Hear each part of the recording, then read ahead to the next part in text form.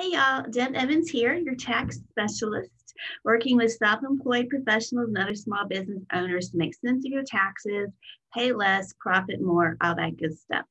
Uh, today I want to talk about sales tax. Sales tax comes up a lot in questions with new businesses. Um, they're not really sure how to handle that. So I wanted to do a training today um, to tell you what you need to know about it. Uh, if you are selling a product or most services in Texas, you do need to know about sales tax. Uh, sales tax, as I said, is, is instituted by the state. Um, now you're familiar with sales tax in on the purchasing side of it. When you go buy something, sales tax is added to your purchase, right? We all we've all done that. Um, and so the sales tax to the state is 6.25%. Each locality adds to that amount. So for most of us, the full sales tax of 8.25%. is based on where you're doing business. All right. So the first thing you need to do is say, okay, um, I am offering a product or service that is subject to sales tax. Okay. So once you made that determination, the next thing you need to do is apply for a sales tax permit. All right, I'm going to walk through the permit with you today. Um, there, you can do it online. We're going to go through the PDF um, so we can all look at it together without having to wait for new screens to come. Um, but you can do it online. All right, so you apply for your sales tax permit and you get the number. All right, so then the next step is to start charging your client sales tax in addition to their purchases. Okay, now this is not your money. That's the thing, is not your money. You are holding it for the state. And for most businesses, you're going to file a sales tax report and pay the tax to the state quarterly. Now, some larger businesses will do this monthly, and some micro businesses might do it annually. But the bottom line is the state of Texas will tell you what they want you to do, and that's what you do. I mentioned Texas. This training is for Texas businesses. Since sales tax is a state tax, every state has different rules about um, their tax. You are taxed on based on the locality of the business. Now, these days, with so many people having online sales, um, you have customers in different states, in different parts of the country. Well, a few years back, it didn't matter. Um, those out of state sales were not subject to sales tax. Only your customers in your state were subject to sales tax. That all changed a few years ago, though. Um, and, and within the past year, it's, it's changed a lot. Um, most states now require you to file sales tax in their state if you have what's called a nexus. And that means you have a place of business there or you're making sales there. Now, if you're an Amazon Prime fan, like my family is, you might have noticed this. My husband complains about this quite a bit. Um, a lot of things we used to buy uh, from Amazon were, did not have sales tax added onto them. So that was another one of the ways, ways we save money. Um, save on shipping, save on sales tax. But now most of our purchases are subject to sales tax. And that's because Amazon now has a nexus in Texas. And so, um, because they are making sales from Texas, they are now having to charge Texas sales tax. So you might be thinking, well, if I have one sale in, you know, from from um, California, you know, do I have to file for a sales tax permit in California and um, and, and, and go through all of that? And the answer is no, probably not. Um, most of these states, when they put the the nexus in place, they had an exemption amount. So a lot of them it's ten thousand dollars, some are twenty thousand dollars, some are smaller than that. So you need to do a little bit of research on this if you're doing a lot of out-of-state sales. And what that means is, let's say um, you have a state that has a nexus of ten thousand dollars, and you make a total sales of five thousand dollars in that state. That means you don't have to do anything right? So once you're above their exemption amount, that's when you have to file for a sales tax permit from that state and file sales tax reports in that state. So if you're doing a lot of sales around the country, be aware of this, but it might not affect you until you are you know, really, really big, or maybe one state seems to be sending a lot of clients. And maybe that one state's what you need to think about. Okay, so moving on back to Texas. Uh, we're in Texas. Most of our sales are in Texas. We are absolutely subject to Texas sales tax. So, as I said, first step is get the permit. they will give you a number. All right, so you have a sales tax permit number. They will send you a little certificate that you can put up um, behind your counter if you have a retail establishment. You might have noticed that in some of the stores you go into. Um, and that's letting people know that you have a sales tax permit and you are collecting sales tax for the state. You're basically the, the middleman at this point, right? So um, you collect the sales tax and you keep very good records of the sales tax. So you would say, um, let's say you file quarterly, you would say, okay, in this quarter, I made X amount of sales and I collected X amount of sales tax. All right, so then you fill out your sales tax report. Now, what that does is it tells the state, okay, I made this much money. Um, this much money is my total sales. This was my taxable sales, and this was um, this is what I owe. And there's little there's calculations you go through to figure out how much you actually owe. Um, you send them a check, and and you're done for that quarter. Um, so this is very important that you stay on top of this though, because the state of Texas will come knock on your door if they realize you're not paying them money they think that they should have. So make sure you do this. If you don't file a sales tax report and they think you're supposed to, they'll send you a bill and they'll say, um, you owe this much money. And people call me up and say, why I owe that much money? Um, well, because you didn't file a report, they made an assumption that you probably made this much money in sales and therefore you had this much money. So what you need to do is you need to file the report to show the actual sales and what the actual amount is. But the best part is to avoid that situation altogether. If you're going to do, um, let's get to have a sales tax permit, you need to follow the rules, just like with the IRS. Okay. So um, another thing to note, I mentioned total sales versus taxable sales. All right. I have a client who has a service business and he has a couple of churches he works with. Well, churches are tax exempt. This means they don't pay sales tax. So his total sales um, include all of his sales, but his taxable sales do not include the sales from those exempt organizations. Now, an exempt organization needs to provide you proof that they are an exempt organization that you will keep with their files. Okay, so if a nonprofit comes to you and says, "Well, we're not supposed to pay sales tax," tell them, "Well, good, give me your give me your permit, and then we're good to go. I will not charge you the sales tax." Okay, so when you fill out your, your sales tax report, then you would say, um, you know, here's my total sales, here's my taxable sales, and that is the amount that you will figure out the 8.25% and blah, blah, blah to get the actual number that you need to owe. Now, again, this is money that you should have sitting in the bank ready to pay because it's not your money. Um, do not mix it up with your regular money. Sometimes people will just kind of mix it in with their income and it might get spent. And then so that quarter comes up and they owe X amount of money and they're scrambling because they don't have it. So the very best thing to do is you take this money and, and put it in a savings account. Um, you might have a savings account just for your taxes, your sales tax, money you're setting aside for your, your self-employment tax, your income tax. Um, so that money is money you do not touch. It's there for when you need to pay these bills. Okay, so that's just a good a good strategy, especially when this number starts getting bigger. Um, because if you owe it and you don't pay it, then you're in trouble. And people always tell me, I don't want to get in trouble. Well, this is how we keep you out of trouble.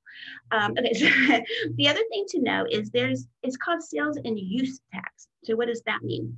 That means that only one person using a product needs to pay tax on it. Okay, that makes sense, right? So if you buy a product from a retail store, you pay the sales tax. Now, that retail store probably bought it from a wholesaler, right? They bought it at a, at a discounted price and then they make a profit by selling it to you. Well, they would not have paid the wholesaler sales tax because they would give the, the wholesaler proof of their sales tax permit and um, the sales the wholesaler would say, "Hey, we're not going to charge you sales tax because you're going to be selling it to somebody else. They're going to pay the sales tax. So it comes down the chain, right? Um, so use tax means you purchased something that you didn't pay sales tax on, but then you kept it for your business use or your personal use. And so no tax was paid on it. So in those situations, there's a place on the report that says use tax. So this is this is um, uh, purchases I made that were not subject to sales tax, and you'll be expected to pay it at that point. So if you're buying stuff for wholesale and you think, oh, this is just for me to use, I'm saving money, you're not saving money. Um, you will have to pay the sales tax, but instead of paying it to The business, you're going to pay it directly to the state. Okay, does that make sense? Is everybody caught up with me? We're good. Um, okay, so um, I think that covers the basics. So let's look at the application because the application can be a little confusing. So we're going to just walk through it really quickly so you can get online and do it. And if you have any questions, let me know.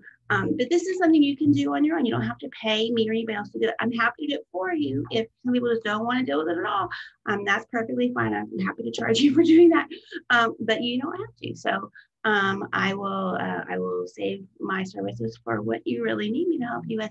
And this is something that you might want to just do on your own. So let's look at it real quick. I'm going to share my screen, and we are going to look at the Texas application for sales tax permit. So I'm assuming that we can all see this. Now, as I said, this is um, the PDF version. Uh, they really want you to do everything online now. Okay, so they really are really directing everybody online for all of this stuff in Texas. Um, so the first thing you need to do when you open up your business is you're going to get an account with the state so that you can do all of this stuff. Okay, so the first part of the form says if you are a sole proprietor, start on the next page, item 10. Okay, so the type of business you are is going to make a difference. If you are an LLC or a corporation or a partnership um, that has been established by the state, um, you have um, different rules you might have to go by on some of this stuff. But sole proprietors is anybody running a business, anybody who's collecting money for services or products is subject to sales tax rules. You're subject to employment law. Um, so you don't have to be established as a corporation to be responsible for those things. Okay. Um, but a sole proprietor is everybody starts out as a sole proprietor. So if you're a sole proprietor, they're saying, you know, keep on moving. You to fill this part out. So these are the people who have established an entity with the state. You have a corporation, a nonprofit corporation, your LLCs, your partnership, professional corporations. All of these things here are things that you had to go through the state to get um, the entity formed. Now, you might have done it through an attorney or through LegalZoom or something, but it still it went to the state. Okay, so here we're going to put our legal name of the corporation. This is what the state has on file as being your name. Okay, now list any current or past 11 digit tax, Texas taxpayer number. So the Texas Comptroller Public Accounts will give you an 11 digit number when you form your entity. Okay, um, now the Texas Workforce Commission for Employment has a nine digit number. So we get we get those mixed up all the time. So nine, nine digits, 11 digits, keep it separate. Okay, have you ever received a Texas vendor or payee number?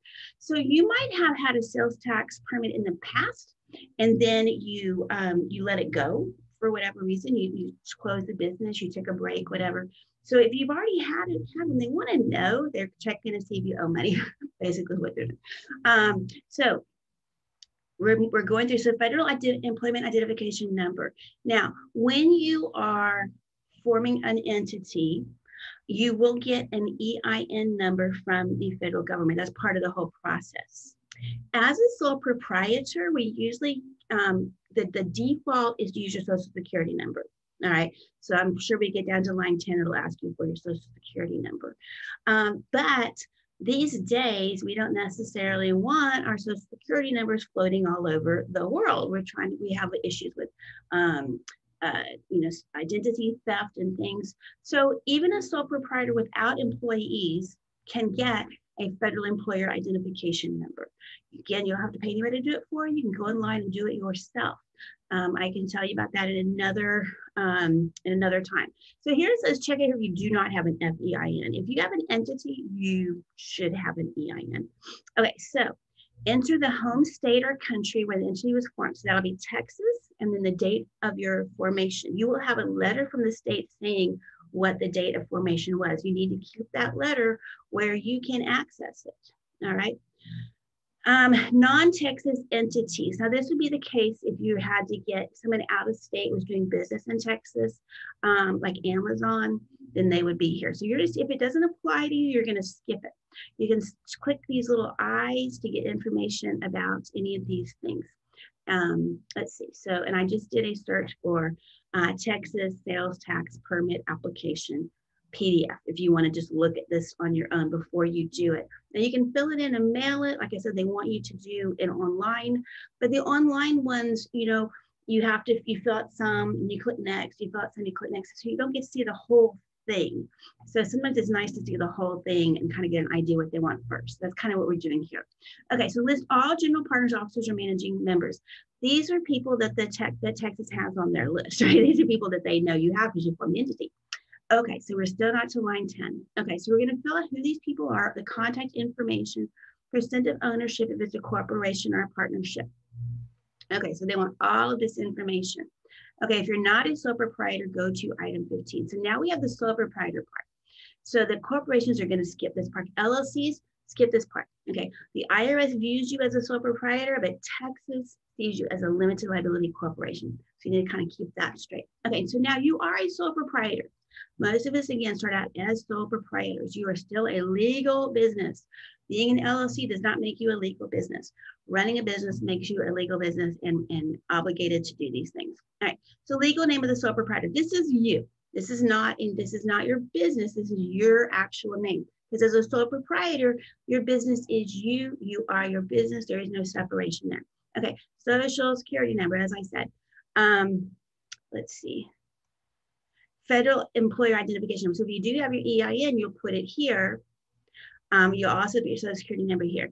Okay, again, did you have a number before? Have you changed your business? This would be your personal um, business. Have you ever received a Texas vendor payee number? Um, and what is that number? So again, they're looking to see if you have a history with Texas. Okay, so now line 50, we've all picked back up. So if you are an LLC, you did the first part, so the party did the second part, not everybody's here. Mailing address of the tax paying entity. Okay, so obviously your name, your address, and your, and your information of Texas should already have this. Uh, it's somebody, if you're still a proprietor though, they, this might be the first they know that you are even a business.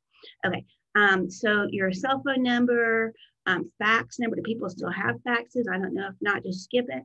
Your business website address or addresses. Okay, contact person for business records. So this would be the one person that Texas can call and say, uh, we have a question about your report. So it could be you, it could be the main person, or it could be somebody that works for you that handles this sort of thing. All right, um, alternate contact. Okay, keep it going. Name of bank or other financial institutions. Okay, is it a business account or is it a personal account? If you will be accepting payments by credit card and or through an online payment processing company, enter the name of the processor. I use Square for my for my um, credit card um, transaction. So I would put Square here, merchant identification number is on my processor. So you'd have to go back into your Square account or PayPal or whatever you're using to get that account. If you don't have an identification number for a processor, then we would just skip that part here. Okay, so moving on, we're on page three now. Um, the legal name should be the same as, so we're gonna do exactly the same. We don't wanna confuse them at this point. Okay, now, complete all information in this section for each place of business in Texas. Okay, so you might have more than one location. And if that's the case, then you're going to want to um, put the different locations down and you'll need to divide your sales up by those locations. And the reason for that is, let's say I have a location in Harris County and I also have a location in Montgomery County. Well, they might have different um, local sales tax amounts. Um, you might have noticed sometimes, like I, I noticed this going to McDonald's because I was buying their um, their, they wouldn't have their drinks for a dollar, and so I was I would kind of swing to the drive and grab a drink every now and then. And if I would went to the one by my house, it cost me a penny more than it did to the one in, in uh, the woodlands, and so that's why it's, it was a one you know half of a percent difference or something. Okay, so you're going to put your locations here. Okay, so again, this is going to let them know what amount of sales tax you're supposed to be collecting. Okay, so within what city limits is this place of business? Are you within Houston city limits? Um, are you within Conroe city limits? Um, so I actually live in the county, uh, and so I would be in a Harris County business, here I live in Cypress. Now, check this box if this place of business is not located the, within the limits of a city in Texas. Okay. Um, is this place business operated from your home? Perfectly okay. It'll be your home address. Do you ship or deliver items to cities or counties in Texas other than where you have your place of business? So if you're, um, you're shipping products, um, then that's where they're going to look at. Maybe there's a different, they used to um, charge different amounts um, depending where you send it to. So I had a client who um, who did his service in people's homes, and so he was all over. You know, Houston is pretty big, and so you'd have these different counties and places would have different um, different sales tax amounts. So when we did his sales tax report, we had to say, he was in Harris County for this, he was in Montgomery County, he was, he was and everywhere he went, it was, it was just a nightmare. They don't do that anymore. So if your main place of business is um, in Houston or the Woodlands or Conroe, whatever, that's the amount they're going to do, they're going to use. It just makes it a lot easier. Okay, so enter the name and address of the owner or landlord of this place of business. It asks for a lot of information here. Do you maintain a distribution center, warehouse, office, or any other physical location where business is conducted? Okay, um, business is conducted. So again, this is where you're going to be collecting some money. Okay, do you have any representative agent, salesperson, canvasser, or solicitor who operates under your authority to conduct business in Texas, including selling, delivering, or taking orders for taxable items? Um, if you are delivering, if you're doing door-to-door -door sales, you're going to put yes here. They want to know who these people are because this is the person who's going to be responsible for collecting that sales tax. So when you collect sales tax, you are, again, you're holding it for the state. And one really huge way to get in trouble with the state is to collect sales tax that you then do not turn over to the state. Okay, that's that's very bad. Okay, um, let's see. Do you own, use, or sell rent uh, tangible personal property located in Texas? So again, these are all just you know yes or no questions that are um, trying to get a feel for how your business is conducted in Texas to let them kind of figure out what they want you to be responsible for paying the sales tax. Um, I really try to keep these as narrow as possible. Um, like here, do you sell at temporary locations, fairs, trade shows, etc.? If yes, list locations or event names and when you will be at location or event. Um, people who sell it at fairs on the weekends and stuff, that's like a lot. And so you might not know where you're going to be every day for the next you know, year. So um, honestly, I just would kind of um, be a little bit more vague about those. If you know for sure that you are going to be selling every weekend at you know Tomball trade days or something, then yeah, you could put it on there. Um, otherwise, I wouldn't worry about it. Or if you add it later on down the road, I wouldn't worry about it. Do you have a franchisee or licensee operating under your name who's required to collect sales and use taxes in Texas? So this is if you are friend, you are having other people do their own businesses sell for you. Do you have a substantial ownership in or are owned in whole or substantial part by a person who maintains a location in Texas? Okay. Again, these things are probably going to be no for most businesses. Okay. It's really not going to change the amount of of what you're going to be paying in. Um, it's just giving them a whole lot of information. Okay. Do you have internet or mail order sales? Okay. A lot of us are, do, are doing online sales and mail order sales. Just, you know, yeah. Um, are you a marketplace provider? Probably going to be no. Will your anticipated monthly taxable sales exceed $8,000 per month? That's the number. Okay. That's the key number $8,000 per month um, anticipated is this anticipated for the rest of your business life? You know um, i would say within the next year or so. So um, if you are over $8000 a month what happens is they're probably going to have you file your sales tax reports monthly rather than quarterly. Okay so that's why that's important. Um, if you say no but then you start filing quarterly reports that are you know that big an amount um, then they're just they're going to tell you to start filing monthly they don't want you sit on that money for so long. They don't want you using that money for your own business, which I guess could be tempting at some point. Okay, will you sell alcoholic beverages? If so, you need to have a permit for that, right? Um, is this permit for a winery located outside of Texas? It will ship wine to consumers in Texas. Um, again, everybody I'm talking to is in Texas. Okay. Um, will you sell membership to a health spa? If yes, you must attach a copy of your health spa certification or registration issued by the Texas Secretary of State. Um, business licenses are not a huge thing in Texas. There are some states you have to have a business license for every little thing that you do. Here we don't so much. So, but there are some businesses that absolutely do have to have um, permit, permits and things. So this is an example of that. Um, will you sell electronic cigarettes or any other device that simulates smoking by using a mechanical heating element, battery, or electronic circuit to deliver nicotine or other substances to the individual inhaling from the device? You either do it or you don't. I mean, you know what you're doing. Um, are you going to sell them over the phone or the internet? So you're going to, this just obligating you to more regulations. Will you sell fireworks? If you have answered no to questions 30 through 37, 39, and 43, do you like to use the optional single local tax rate? So that would be if you're absolutely only in one, one place and you are not ever leaving your place. Let's you have a retail store, people come to your store and buy, um, you could use the, the single local sales tax rate. Okay, um, enter the date you'll begin making sales. This needs to be later than the date you're filling out the application. Um, will you operate the business all year? Is it, is it seasonal?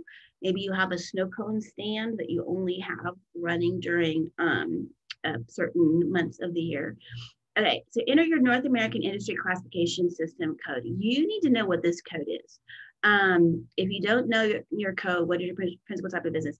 This code goes on your tax return as well. So you need to know what your code is. Um, you can Google it online and it will tell you what your code is. Primary business activity and type of products or services to be sold. Um, uh, let's see, you um, are a, you sell um, uh, candles, you sell um, little trinkets, uh, whatever you're selling. You're going to the to the um, the fair on the weekend and you're selling crafts that you made. Okay, so your business needs to have some sort of specific thing that it's doing, types of products or services. Again, a lot of services are taxable. Will you be required to report interest earned on sales tax? See specific instructions. This is not going to apply to very many people. Will you sell, lease, or rent off-road heavy-duty 50 horsepower more diesel? Again, you either do it or you don't. Um, it's not something that you're going to, you know, probably add on later. This is either part of your business or it's not. If you'll be providing telecommunication services, so all of these things, will you sell prepaid wireless tele telecommunication services? So on the the online application, it's just got these lists, you know, yes, yes, yes, no, no, no, no, no. So again, most of these are going to be no just make sure that you um, you you're, you read the question carefully and you know what you are checking off. If you purchase an existing business or business assets, complete item 53. Um, if not, skip to item 54. This is this does not look accurate. It should be skipping 54 because um, if you haven't um, purchased it, you wouldn't fill out this part here. So if you buy business from somebody else, you need to put that information. Again, they are checking to see if that person owes sales tax. All right, um, now moving along, applicants must be at least 18 years old. If you have a person younger, the parent or legal guardian can obtain the sales tax permit.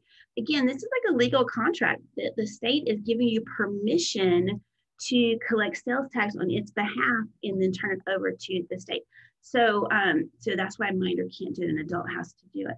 Okay, so we declare the information in this document in the attachment is true.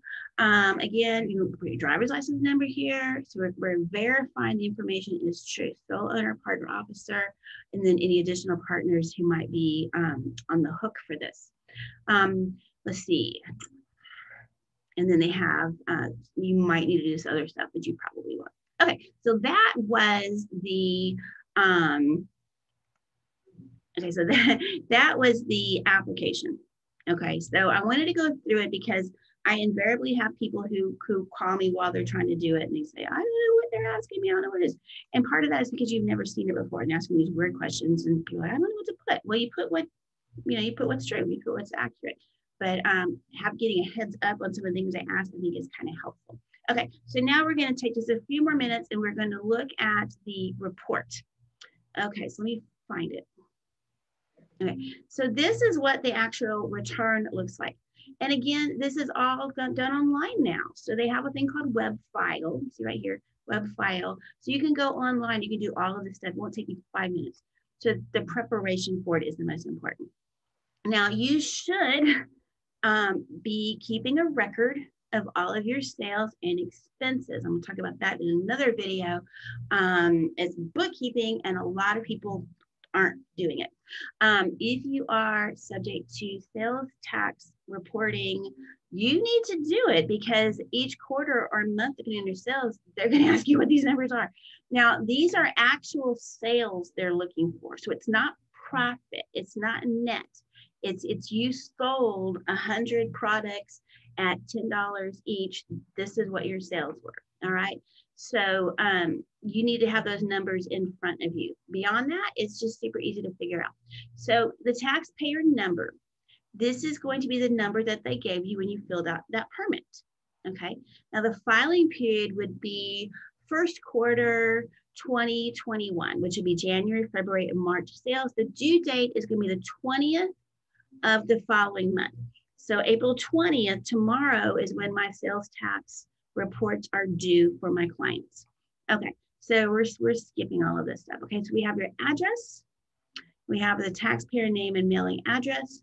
Okay, total Texas sales, whole numbers only. So you're gonna round up or round down. So let's say you made $10,000. Okay, so we're going to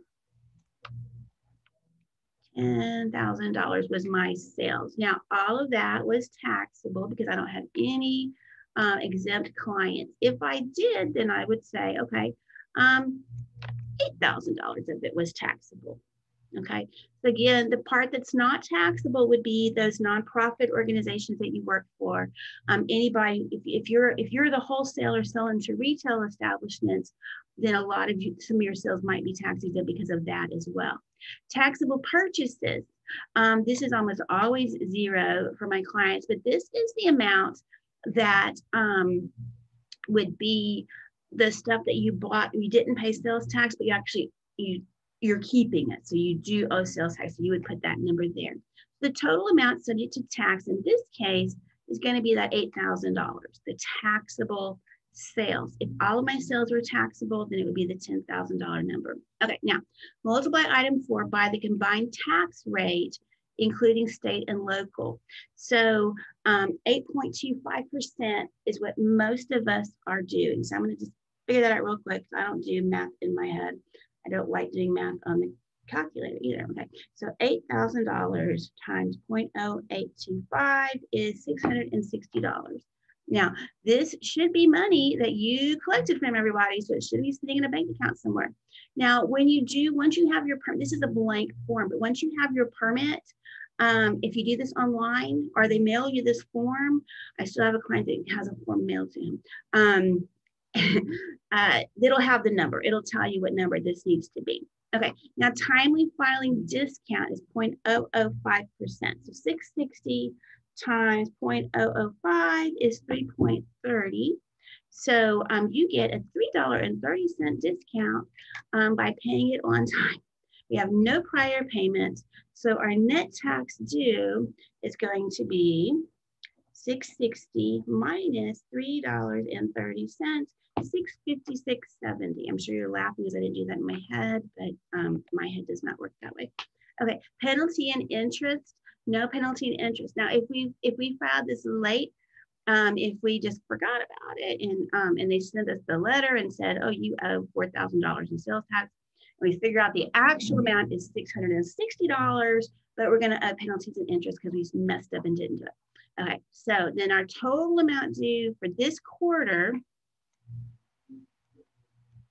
is six hundred and fifty-six dollars and seventy cents. Now I can pay that um, with online by using my routing and my account number for withdrawal.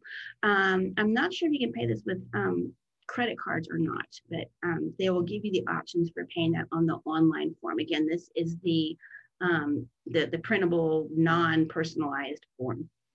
Okay, but they will, you'll be able to go directly from this to paying because they want to have the payments. Okay, so here's a little interest your um your your instructions for here's your penalty and interest. One to 30 days late five percent.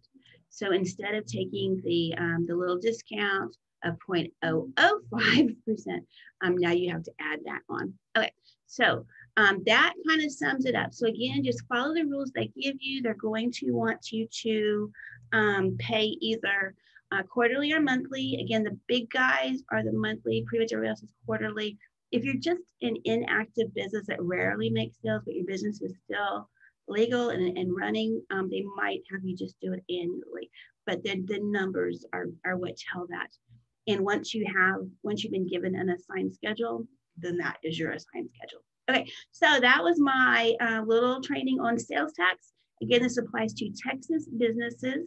Um, we also have franchise tax, which we'll talk about another time in a little shorter video because it's much easier. Um, and but the sales tax is very important. So more and more businesses are subject to this. Uh, fewer and fewer businesses are doing it, and so they're getting in trouble. So um, once you put yourself out there as selling, they find you. So you know, um, you know, you might have have your business online. You might have a Facebook page. Um, people might turn you in. They like to do that too.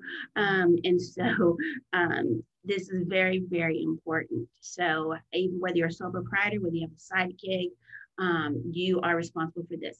Now, what if you are a, um, a rep for the MLM companies? You know, I'm selling Plexus, I'm selling um, uh, uh, doTERRA, I'm selling, you know, whatever it is I'm selling.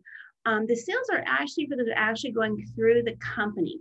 Okay, so the company's the one collecting the sales tax, the company's the one doing that. So when you fill out the, the order form for your for your customers, the sales tax is on there, but you're not responsible for it. Okay, now if you're buying products at wholesale that you're going to resell, then you're subject to this. And so, so pay attention to that. But if you're only selling um, through your company's website, all the money's going to them and then they're paying you whatever your cut is, then you do not have to worry about this.